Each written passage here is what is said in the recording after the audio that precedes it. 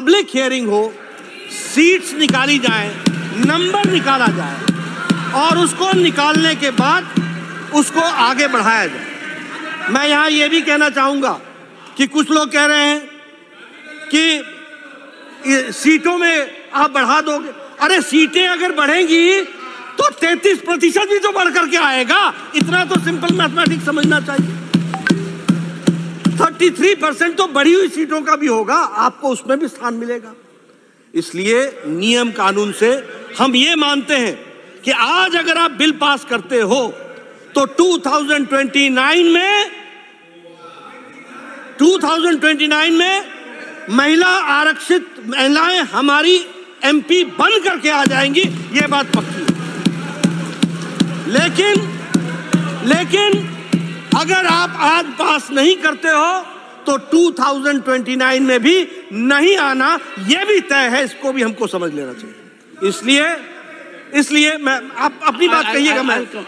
इसलिए if this is the way and if this is the only way and if this is the shortest way this is the way जिस रास्ते से हमको जाने की आवश्यकता हमारे हमारे आज भारतीय जनता पार्टी के दृष्टि से मैं आपके सामने ये बात कहना चाहूँगा कि Honorable leader of the opposition wants to intervene for a minute. Please, sir. खड़गे जी, please. क्या बोलना है इसका जवाब इसका अमेंडमेंट करने का कोई दिक्कत नहीं है ये आप अब करने का तो ये 31 को डाल रहे हैं। इसका मकसद क्या है कि बिल ऐसा ही चले। नहीं नहीं आप आप ही ने कहा 29 के बाद ये सब 29 को नहीं मैं सर जब पंचायत एक्ट जब पंचायत में रिजर्वेशन के लिए होता है जिला पंचायत का होता है तो ये वुमन रिजर्वेशन का क्यों नहीं होता? आज करो। और मैं एक कबीर का दुआ सुनाता हूँ। कल करने का आज करो आज करने का अब करो। और फिर तो पल में प्रलय होगा तो फिर करेंगे कब? पल में प्रलय होगा तो फिर करेंगे कब? Mr. नड्डा। तो इसीलिए आप आज कीजिए वी आर रेडी वो इलीगल नहीं होता जुडिशरी नहीं होता कुछ नहीं। एक मैं यहाँ honourable members, One second, one second. Sabhapati ji. Honorable members, one second, please. Please. Sabhapati ji. Honorable members. Sabhapati ji. One second, sir. We are the upper house.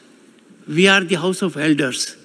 If there is a reflection that there is a legal working mechanism, a constitutional process, then rather than play the other way around, we have to look into the real legality of it. And he is focusing on legality of it. Please go ahead, sir. सभापति जी मैं यहाँ एक बात स्पष्ट करना चाहता हूँ। मैं यहाँ स्पष्ट करना चाहता हूँ भारतीय जनता पार्टी का इंटेंशन कोई अपने आप को स्कोर करने का नहीं है। कोई पॉलिटिकल एडवांटेज लेने का नहीं है। हमारा उद्देश्य महिलाओं का सही मायने में सशक्तिकरण करने का अगर हमको अगर हमको पॉलिटिकल एडवांटेज लेना होता तो हम कह देते हम अभी कर लेंगे। जो काम नहीं हो सकता, मैंने कहा मैंने कहा this is the only way and this is the shortest way and this is the correct way that we have to understand